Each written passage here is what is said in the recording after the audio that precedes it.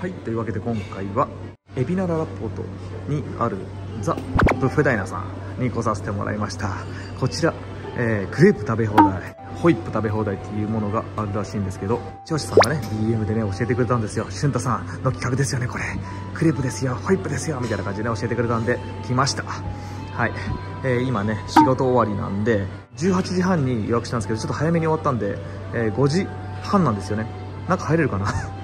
えーとりあえずねがっつり食べていきたいと思います。うーんめっちゃ腹減った。スペシャルコーススペシャルコースでお願いしたんですけど、スタンダードコースだとはいドリンクをつけると、うんうん。この価格です。になるから、い。こっちの方にした方がなんかね。オーダーが増えるよっていう。そうですよね。こという話の流れではい。こちらにさせてもらいました。すいませんありがとうございますとりあえず席来ました。クレープとんホイップだけ食べ放題だと思ったんだけどいろんなものを食べれちゃうんだよねえパスタとか寿司とかさローストビーフとかいろいろなのがあるんだけどそういうお腹で来ちゃってますから。はい。8割ぐらいはこれで食べるかな。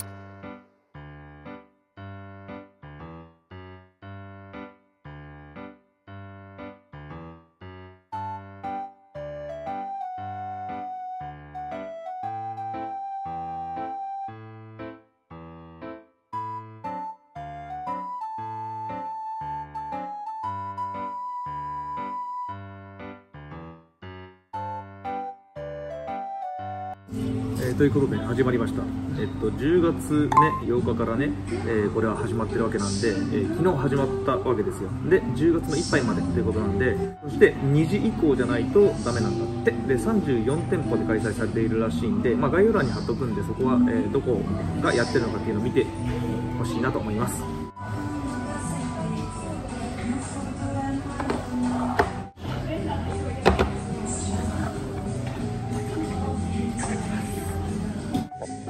えずクレープ5枚持ってきて、えーなんかこれ なんかアマンディのホイップ思い出すな。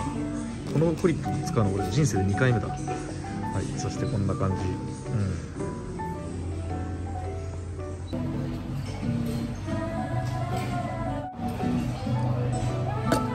これ持ってきた。多分オレオの黒いところだね。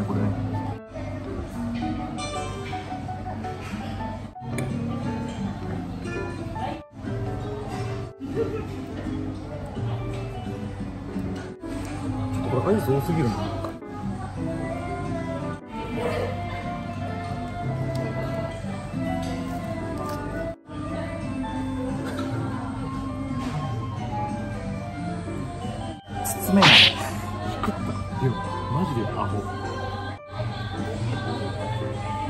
あこれでいきますか。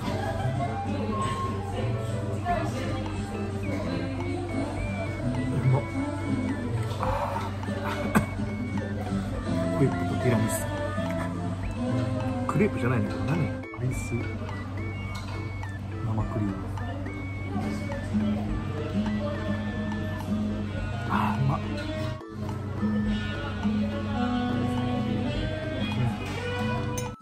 で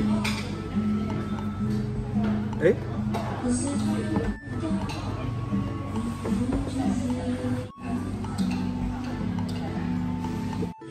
りあえず超でかクレープできたね。やべこれちょっと薄いから破れちゃうわ。もっと厚手のやつやってくれないかな。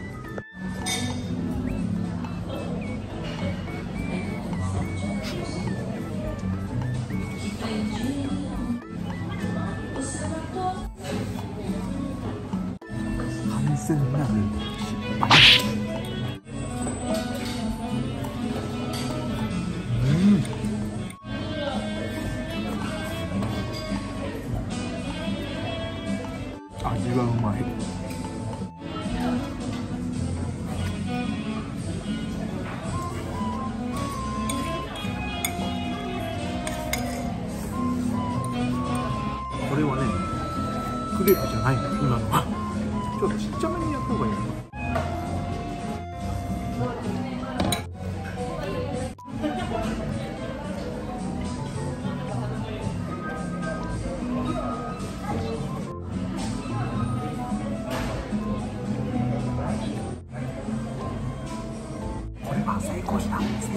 うのかなこれ。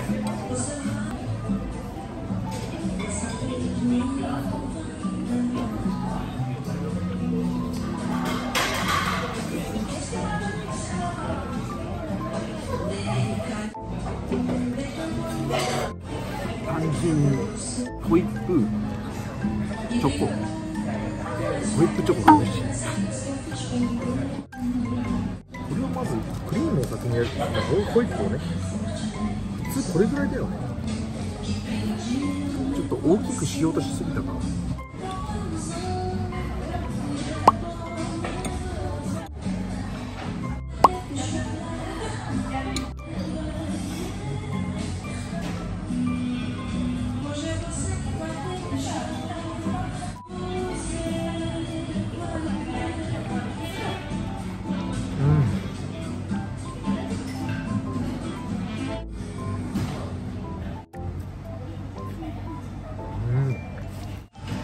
レープ全然足んない。ちょっと頼みます。単純にこのホイップの下にあるクリーム美味しい。うん。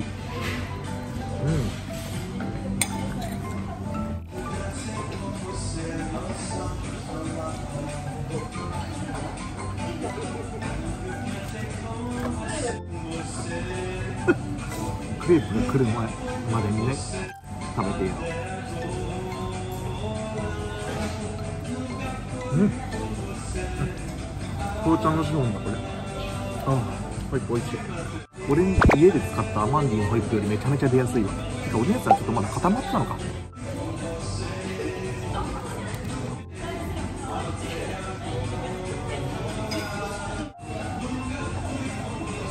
見てくださいこれ。絶景になっちゃったけど。見た目。ホイップって本当に見た目いいよな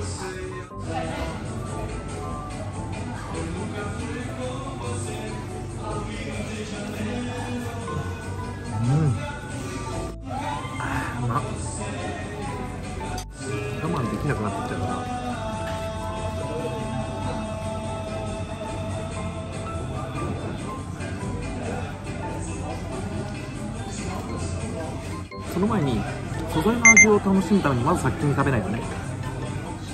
うん。普通のカスタードですね。うん。美味しい。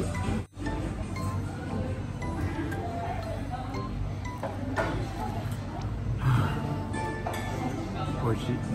これをあブフって。うん。出方。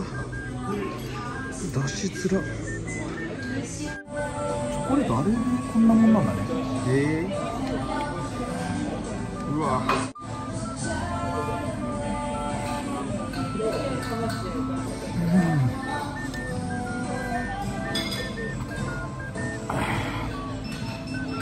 スルスル入っていく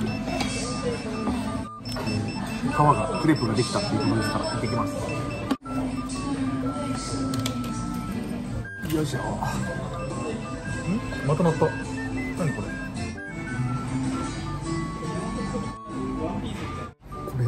最初にホイップをつけるんだ。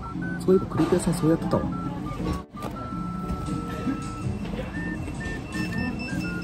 あれ？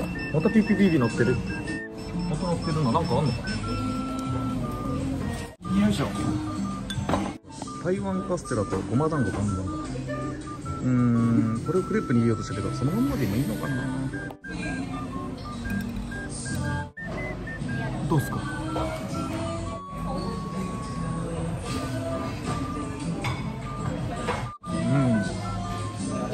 味はゼロですね。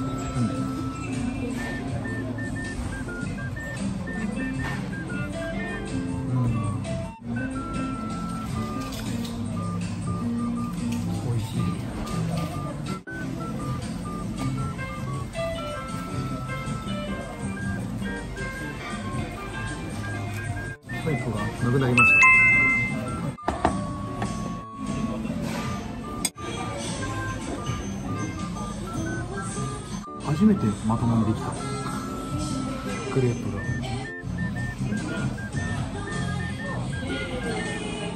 うん。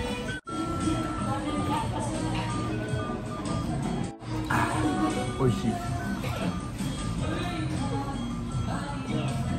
うん。でもね一個だけ忖度なしに伝えなければいけないことがある。このクレープの生地ちょっとボソボソホイップとか他のもの美味しいのに。ちょっとクレープを食べに来たけどクレープ以外のものでなんかやるかな。むずい。な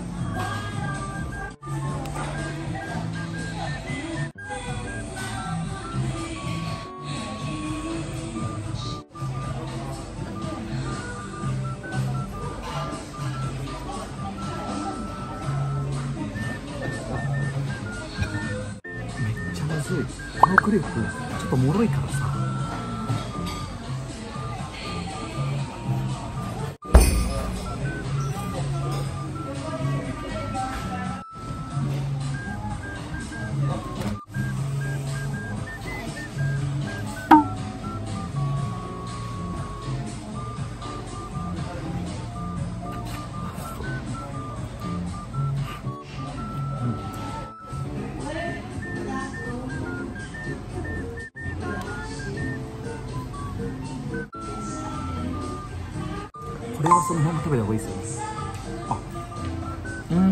出来たて。う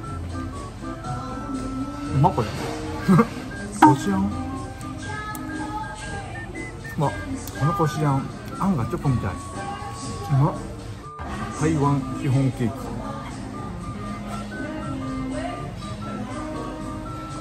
うん。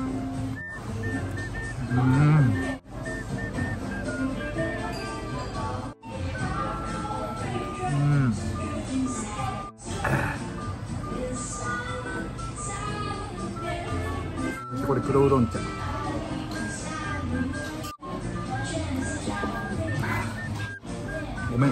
クレープじゃなくて普通のものも頼んで頼みます。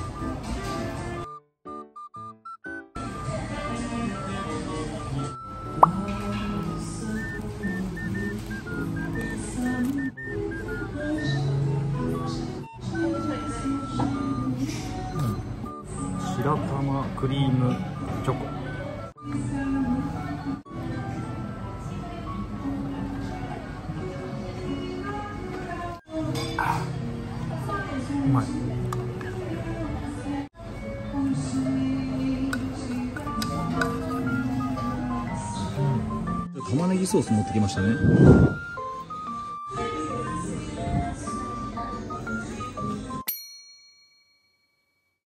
でカニパスタ大丈夫でしょうか？大丈夫でしょうかって言っちゃってるからなうん。あいい香りね。トマトソースの感じの。あれ今取れてなかったな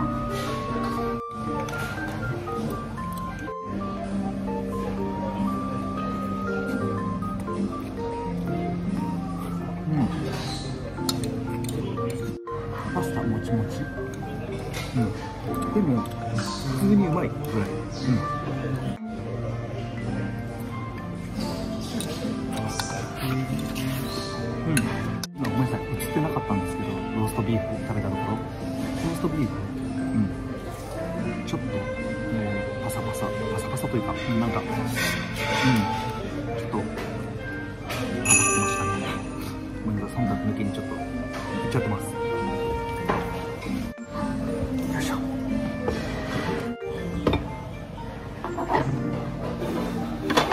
こちら小籠包とカニ小籠包と特製肉シューマイエビ蒸し餃子赤餃子肉まん。肉まんちっちゃ。これぐらいの感じで食べさせてくれるのねうん。たくさん食べれない方にめちゃくちゃいいねこれね。肉まんにはかけないか、うん、肉まんからいきましょう。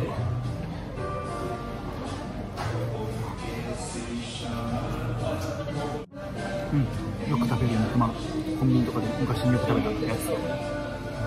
そして多分これがカニ小籠包ですよね。あ。うん。カニの味するわ。うん。こちらが特製肉シューマイうん。うん。普通のシューマイ。美味しい。こちらが普通の肉シューマイですね。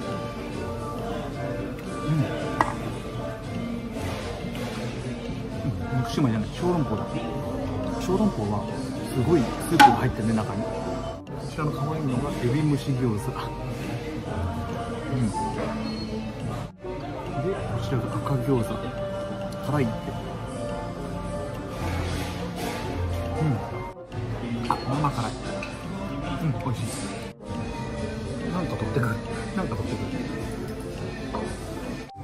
ちゃ美味しそう。何これ？ポテトミートグラタンか？うん。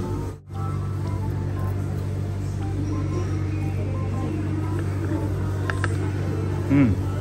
いい感じだね。そしてしてクロックルっていうのを作ってみようか。ここね。こう。これを中心に置いて。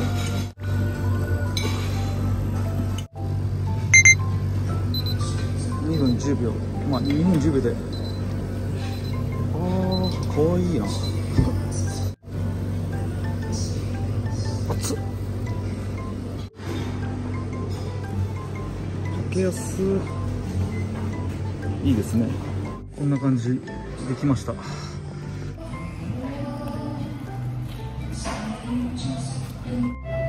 ロッフルに。ああったかい。うん。待って待って待って。今日一うまいこれめっちゃうまい。出来たてのうまさ半端ねえんだな。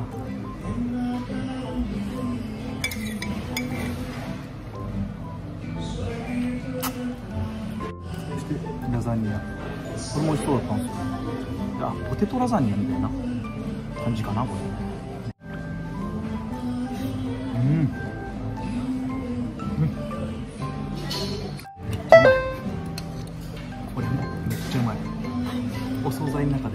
日。うんお。ポテトの上に乗ってるチーズがめちゃめちゃうまいわ。うん。ポテトラザニアなんて生まれて初めて食べたわ。美味しいね。ちょっと冷えてる。いや冷えてねえか。普通か。フレンチトーストですこれ。結構重量感あります。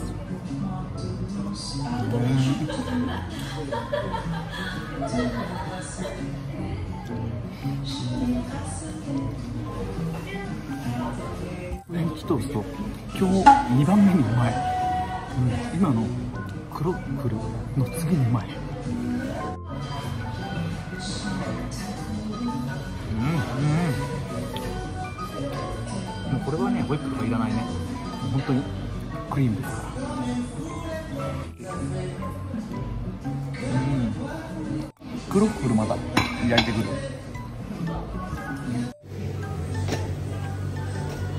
これ多分焼きそばだよね。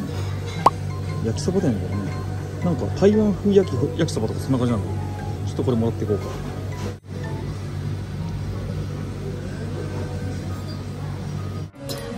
ちらは多分台湾風焼きそばですよね今ねクロッフルやろうとしたらクロッフル焼いてる方がいたから。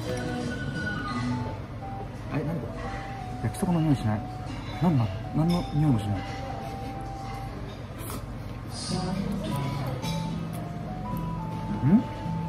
あ匂いがしない焼きそば。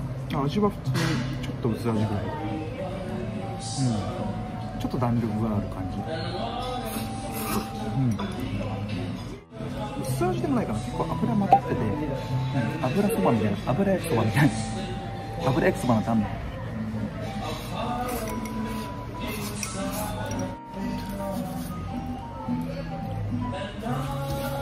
ょっとクロッフル作ってくよいしょ。ちゃんと焼いちゃって大丈夫だよねさていってらっしゃいませ。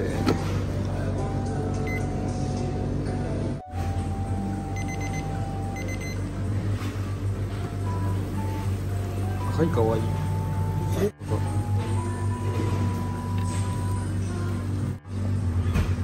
見事だねこれね。よし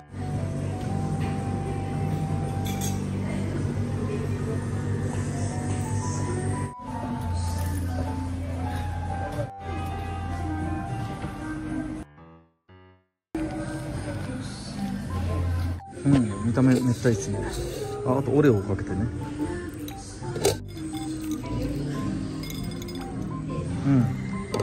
感じになった。あほらガリっていったうん。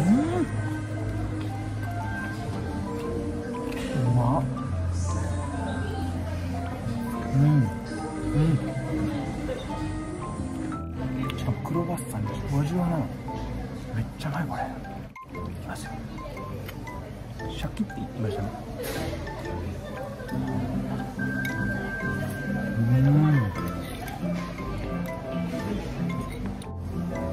じゅ。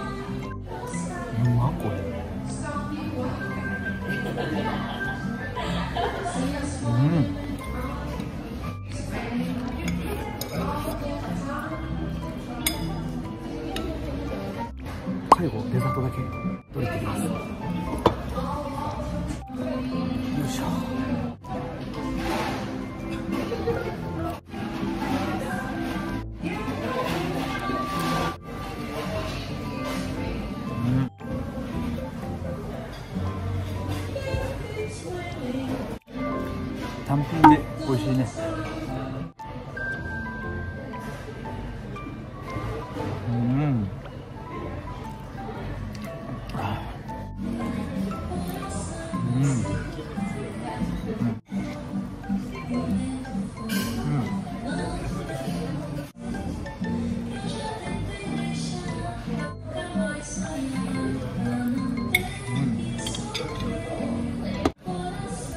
はい、というわけで今回は、えー、ブッフェダイナーさん、エビナララポテ店さんにお邪魔して、クレープ食べ放題を、えー7割くらい、8割くらい食べさせてもらいました。ホイップとチョコレートめちゃめちゃ美味しかったで。ね、うーん、なんかあんまり忖度したくないから、そのまま素直な気持ちで言っちゃうと、クレープがね、ちょっと、えーちょっと微妙だった。やっぱりね、専門店のクレープとはわけが違うんだ。そして専門店のポストもちょっと違うんだ。うん、それぐらいは分かる俺どんだけ舌がポンコツでも、うん、